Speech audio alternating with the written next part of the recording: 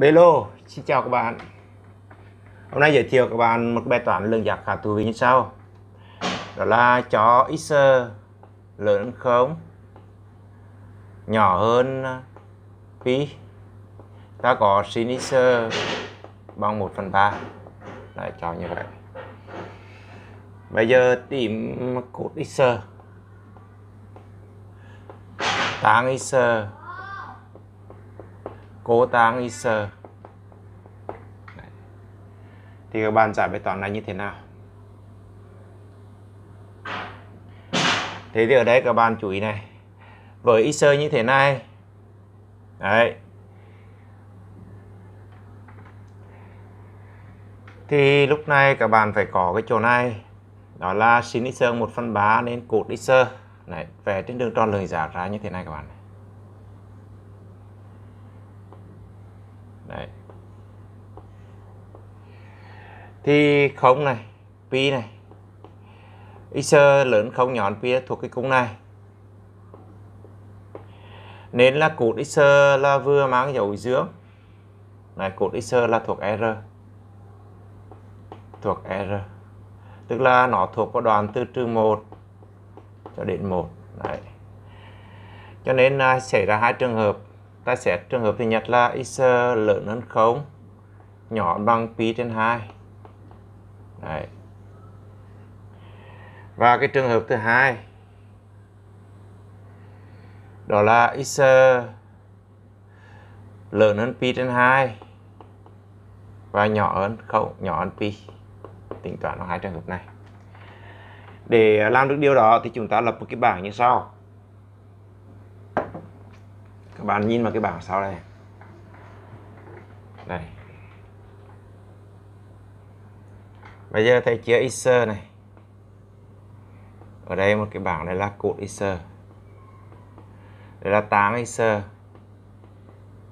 và cô táng ISER cái bảng như thế này. Từ 0 đến pi trên 2 rồi từ pi trên 2 đến đến pi giờ này ta sử dụng một cái gạch như thế này.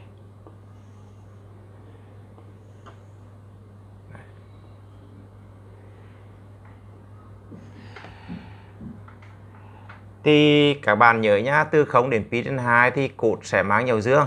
Đấy. Và các bạn nhớ là cột bình phương x cột bình phương x thì sẽ bằng cộng với sin bình phương x bằng 1 vậy là ta sẽ có là gì? Ta sẽ có là gì các bạn?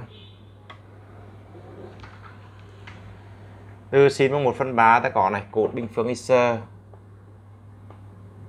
là cột x ở đây cột dương rồi. Là bằng cộng trừ. 1 trừ sin bình phương x Đấy. cộng trừ. Cắn của 1 trừ đi 1 phần 3 toàn bộ bình phương. Vậy cái này sẽ bằng cộng trừ 1 trừ đi 1 phần 9 là cắn của 8 phần 9 Đấy. cho đó đây sẽ là bằng cộng trừ 8 là bằng 2 căn 2 căn 8 bằng 2 căn 2 còn căn 9 là 3 đây là cột x các bạn. Đây, cột x là hai giá trị. Được chưa? Ok chưa? Đấy. vậy từ đây chúng ta sẽ suy ra hai trường hợp với x lớn hơn 0 nhọn pi trên 2 thì cột x dương, cột x mang dấu dương, nhá. Cho đó giá trị ở đây là 2 căn 2 trên 3 còn trường hợp này cột x mang dấu âm, thì đây là trừ 2 căn 2 trên 3 đấy. Còn táng x là bằng sin trên cốt đấy. Sin bằng 1 phần 3 vậy là cái này 1 phần 3 chia cái này, thì rút còn là 1 trên 2 căn 2 1 trên 2 căn 2 còn đấy là trừ 1 trên 2 căn 2 ok các bạn. Còn cố tang cố tang là bằng nghịch đảo của tang, tức là 2 căn 2 còn đấy là trừ 2 căn 2 đấy, các bạn nhá.